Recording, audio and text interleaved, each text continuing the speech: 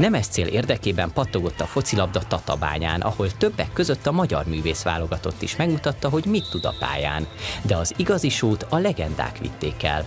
Újra összeállt a 2000-es évek ikonikus tatabányai csapata is egy gála meccs erejéig, méghozzá a magyar öregfiúk válogatottja ellen. A két csapatban olyan nagy nevek szerepeltek, mint Vince Pilu, Pintér Attila, Détári Lajos vagy akár Mészői Géza. Hát óriási volt a mérkőzés, fantasztikus élmény volt. Már rögtön, amikor megérkeztünk már 10 órakor, akkor úgy beszélgettünk, mintha tegnap találkoztunk volna utoljára, pedig az egy jó pár hónap eltelt. De itt érezzük jól magunkat, amikor bementünk az öltözőbe, és a régi élmények előjönnek, mindenki sziporkázott, és hát a pályán is azért megmutatta, hogy még mindig azért ért azért a, a focihoz, és bármennyire is már kezd a csapat azért idős korba lendülni, de, de mégis azért van benne még potenciál, és még így nagyszerű itt a kispályán még együtt játszani.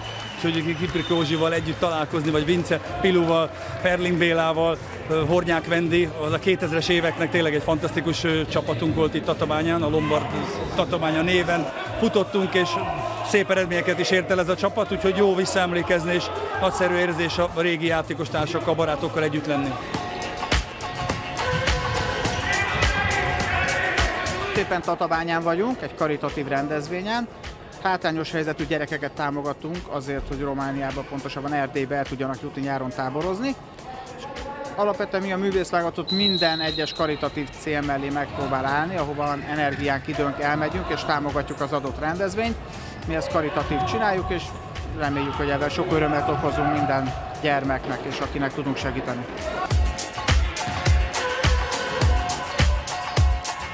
Voltam már Erdélyben, és azt gondolom, hogy minden magyarnak egyszer el kell jutni oda, és egy jót kirándulni, úgyhogy tényleg emiatt mindenképp azt mondom, hogy egy, egy nagyon nemes célért küzdünk mi itt, hogy most összegyűjjön ez a pénz. Szerintem ez egy tök fontos dolog, hogy azok az embereken segítsünk, akik nem ott tartnak, ahol mi nincs mondjuk fedél a fejük fölött. Főleg most bejöttek ezek a kemény mínuszok, viszünk le takarókat, meg ilyeneket, és erre buzdítanék mindenkit, hiszen rengetegen akár az életüket is vesztik pont a fagyok miatt, és ha másért nem, akkor ezért segítsünk.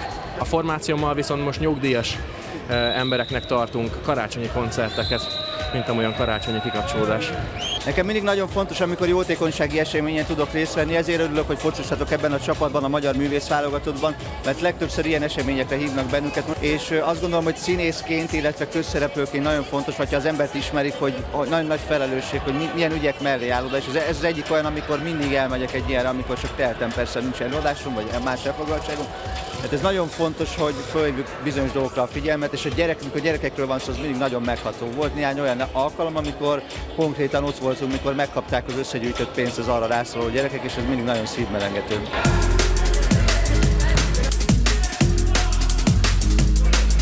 Fontos az én életemben is a jótékonykodás. Én általában ezt úgy oldom meg, hogy minden évben összeszedem a ruháimat, azokat a ruhákat, amiket már nem hordok, és elviszem olyan helyekre, akár aluljáróba, akár rászoruló családoknak, akiknek ugye szükségük lehet az én ruháimra, és nekik nagyon jó dolog ez, és az én lelkemnek is egyébként nagyon fontos az, hogy, hogy kapok egy olyan visszajelzést, hogy látok mosolygó arcokat tornán Csiték csapata művészválogatott végül a második helyen végzett, de most tökéletesen helytálló az a mondás, miszerint a részvétel a fontos, nem a győzelem.